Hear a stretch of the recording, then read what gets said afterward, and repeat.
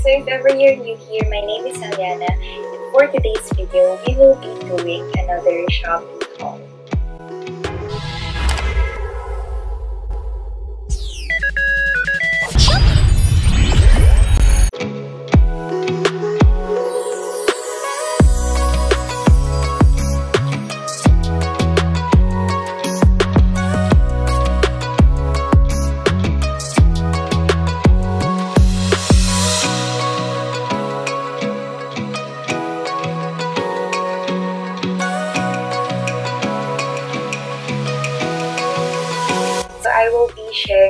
guys the items that I bought from Shopee which I will be using for my room. Disclaimer lang, I did not buy everything na ipapakita ko later ng isahan. So medyo mga mga one cup sila, ganun.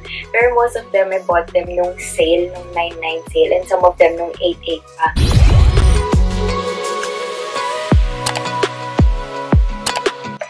So first thing I got are these faces na plus sila pareho. And ito, wala lang, ang ganda niya. So, I got it in pink and ibang style naman white. Ito, nagulat ako. Ang laki niya. Kasi laki na siya ng mukha ko. Ang naisip ko kasi yung maliit lang siya.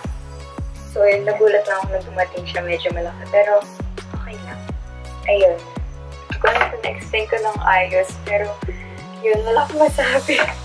So, next naman, let's move sa mga fake plants. Kasi ang hirap kasi mag-maintain ng totoong plant. Iba rin kasi yung vibe sa room mo kapag marami kang greens na nakikita, ganun. Kaya medyo marami akong nabili ng fake plants. Start natin with this one. Ito yung leaf na to. Hindi ko talaga alam kung anong tawag sa dahon na to. Pero ito yung favorite ko i-paint lagi. Kaya ako siya pinili. Tsaka, ewan ko, niya kasi. Pero sa personal, hindi ko masyadong gusto yung itsura niya. Kasi, ewan ko, tapos, gusot-gusot pa siya nung dumating sa akin. So, dalawa na ito magkasama. And, nasa less than 50 pesos lang ito dalawa na. So, ayan. Next naman, itong mga to. Kaya sabay-sabay ko silang pinakita kasi sa isang shop ko lang sila nabili lahat. Start muna natin dito sa mga dahon na to. Wala, ang cute nila tingnan, di ba? Hindi ko alam kung paano ko talaga i-explain eh, pero ayan, ayan yung itsura nila. So, ayan. Alam ko isa nito 28 pesos lang. Ang ganda na nung design niya. Diba, hindi siya mukhang 28 pesos. Kasi sa mall, super mahal ng mga fake plants. So yun, kung naghanap kayo ng mga fake plants, maraming magaganda sa Shopee, tapos mura pa. Next, ito naman. Alam ko laven, lavender lavender something yung tawag dito.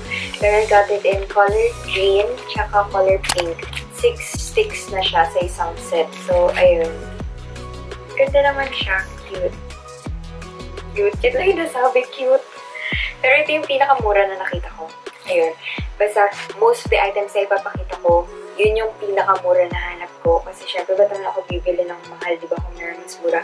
So, if ever nagtitipid kayo, magtsaga-tsaga lang talaga kayo sa paghahanap ng mas mura na shop. Mas mura na shop. Mas murang item na same item na mas mura yung price sa ibang shop. Last na fake plant na nabili ko dun sa same shop is itong flower na to. Hindi ko alam kung anong tawag sa flower na to. Pero yan yung itsura niya. Ang variation na kinuha is cream color. And ayan, okay naman. Hindi siya super maganda. Pero okay na siya sa price niya. Kasi mura lang din siya. And ang haba ng stick niya. So puputulin ko to kasi mahaba siya masyado. So, ayun.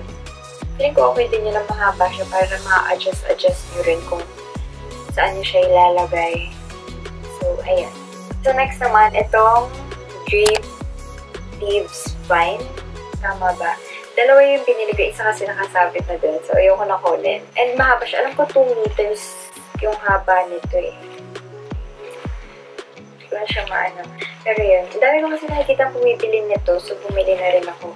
Kasi parang cute niya lang tingnan pag nakahang sa wall mo, ganun. Aesthetic. Next fake plant na nabili ko are these, ano yung parang bush. Bush ba? Basta yung mga plant na ganyan na nakalagay lang sa parang parang base na plastic. Kaya parang pot na plastic. Ayan, tatanggal siya. Ayan, ganyan. So, kung ayaw niya na ng plant or kung gusto niyo lipat sa iba, pwede ito maging container. Nalagyan niyo ng ewan ko kung niyo. So, ayan. Next naman are these, ano, rabbit tail, rabbit tail, rabbit hair tail, kasi yung rabbit something na grass, ganun. So, alam ko totoo ito eh, dried siya na totoo. And 20 pieces isa. Tapos kinuha ko siya in white, tsaka in brown coffee. So, parang ganun. Cute lang din. Din masasabi ko, cute. Pero parang medyo manipis eh. Hindi pa kasi siya binubuksan. Ayan. Medyo manipis yung sa dulo niya. So, feeling ko dapat dahan-dahan lang. Okay, so the next thing I got are these picture frames. Wait, ito. Ito. Pinili ko sila in two sizes. Ito, ang size ito is 8 by 12 so long bond paper. Then, itong isa is 4 by 6 inches. And ayan na lang kasi yung available na color. Actually, may ibang color, pero ito na lang kinuha ko. Tapos bumili kasi ako ng spray paint. Pipainted ko pa ito ibang color. Ayan, yan lang yung itsura niya. Ito yung sa likod. So, yan, may ganyan siya. Tapos, yung pang-cover niya is plastic lang. Plastic sheet lang. So, hindi siya glass. Same lang din yung maliit. Hindi ko na muna bubuksan. So, I was wrong pala. Glass pala talaga yung nandun sa small na picture frame. The next thing naman is this yung light na initials. Initials na light. So, ito yung tsura niya. Naiilaw siya. Oh! Pagpatayin na natin. Tapos, may free batteries na rin pala to. 99 pesos lang. So, very sulit na. Ganda siya. Sana matagal yung ilaw. Ayan, ang cute lang, di ba? Parang pan-design sa room. Actually, gusto ko kasi sana magpagawa ng neon light na A. Yung A na parang logo ko. Pakita ko dito yung picture. Ayan. Ayan, sana yung gusto kong pagawa. Kaso naisip ko, hindi ko pa naman siya kailangan. I mean, hindi siya necessary. So, wag na muna. Next time na lang. So, ito yung binili ko. Actually, bibili pa ako isa nito. Bibili lang ko yung kapatid ko. Pero sabi ko sa kanya, maglinis mo na siya ng kwarto.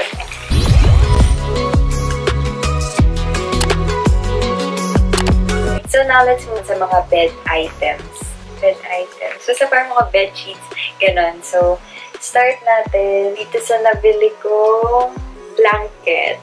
Please blanket yung tawag dito. 120 lang isa. So dalawa binili ko kasi nga bala ko yung isa gagawin kong punda nung malaki kong unan.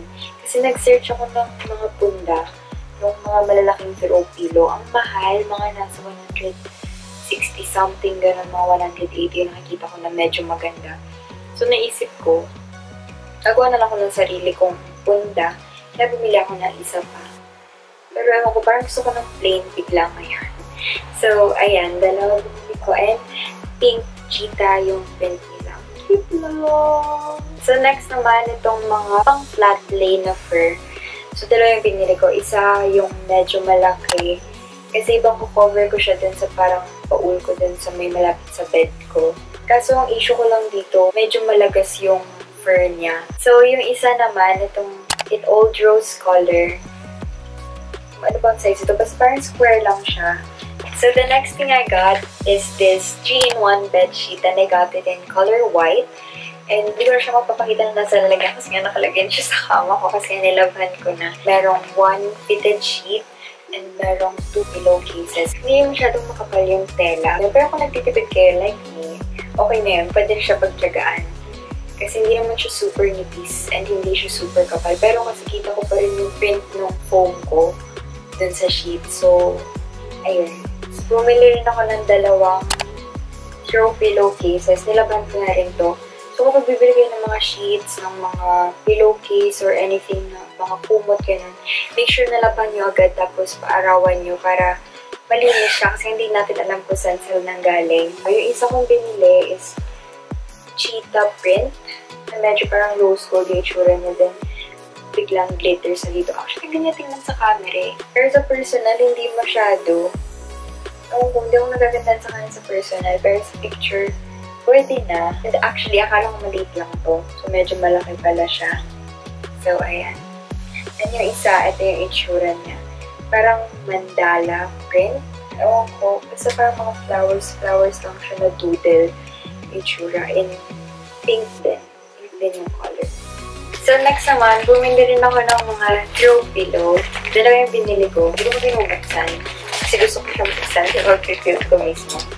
Then, open natin. Malapit ko man talaga yung lighting dahil nang may puti sa ilalim ng light.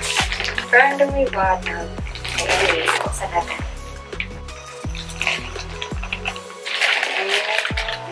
So, ayan. Yun yung itsura niya.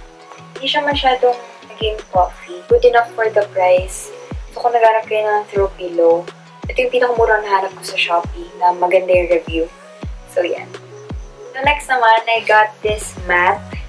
Na ang design niya is, ayan, marble na parang may gold na paganyan, tas pink. Yung print niya, hindi super linaw, pero okay na. Okay na rin for the price. Ito less than 200 lang to and non-slip na yung mat niya sa likod. Okay,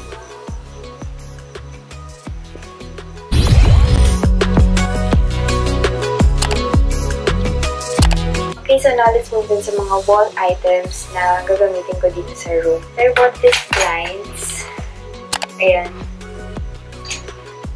Wala ako ng blinds para dun sa maliit kong mirror dun sa may table ko. Kasi, wala lang.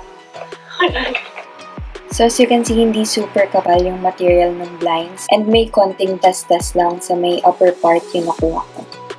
So, next naman na nabili ko are these wooden planks. Bigat. Ayan, Baluchina wood to. Gamitin ko kasi siya as shelves dun sa table ko. Kasi na-realize ko yun yung kulang sa room ko. Wala akong masyado yung paglalagyan, yung mga shelves na open para sa mga kung ano-ano yung gusto kong ilagay. So, yung bumili ako nito. And medyo mahal yung shipping fee nito. Eh, kasi ito pala, yung variation kasi nito, yung nabili ko, 1 inch yung kapal niya. And ang choices lang kasi doon, 1 foot yung haba, 4 pieces nun, or apat na 2 feet yung haba. Ganito. So, chinat ko yung seller. Tinanong ko siya kung pwede bang ang i-check out ko yung 4 pieces na 1 foot each. Pero ipapa-convert ko yung sa akin na 2 pieces lang pero 2 feet each. So, ayun, ang bait lang ni seller kasi tinayagan niya ako na ganun yung gagawin. So, ayun, thank you po.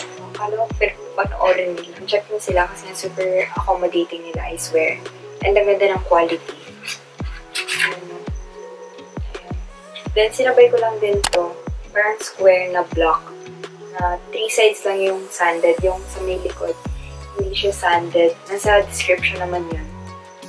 Sabi ko lang, 210 pesos lang. Kasi naisip ko gawin kong coaster. So, last na wall item na binili ko is this famous brick wallpaper. Ayan. Diba? Ang ganda niya sa personal. Tapos, alam ko yung kapal nito is 0.6 mm ata. Kasi meron 0.8. Pero okay na ako dito. Maganda, maganda. I swear, maganda. Tapos, super madikit. Mag-insert ako ng clip dito na nilalagay ko siya dun sa may gilid ng vanity ko. Tapos sabi nila, may napanood kasi akong video na bumili siya nito. Sabi niya, pag tumatagal daw kasi mas kumakapit yung dikit.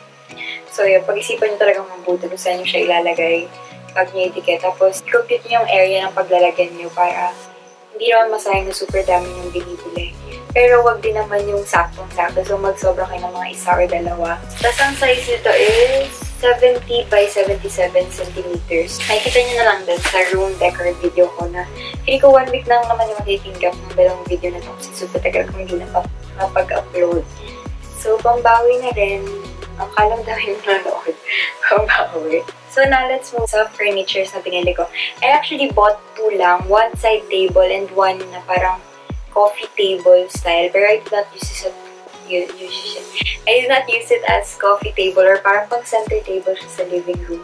Ginamit ko siya para dun sa vanity mirror ko. Hindi ko na ako papakita ito kasi nga medyo malaki. It's for 960 pesos. Pero nabili ko lang siya for around 800 something pesos.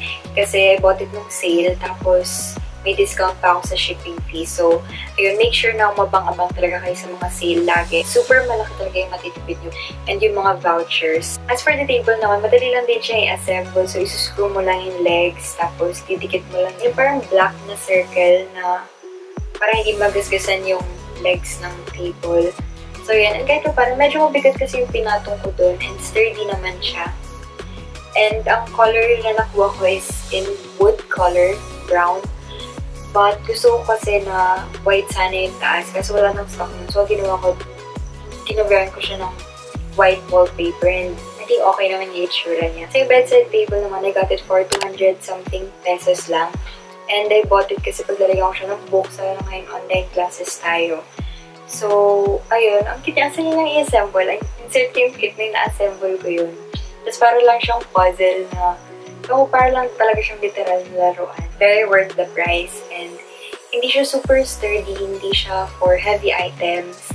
Pero, it's very good for, ano, for storing your books or some school or even work items na magagana yung mga papers, yung mga pens na. So, I forgot to mention that I also bought these wooden hangers. And I saw super steal na nito kasi ang mura ng shipping fee niya. Ang problem lang is hindi pare-pareho yung color ng pagka-wood pero it's fine for me.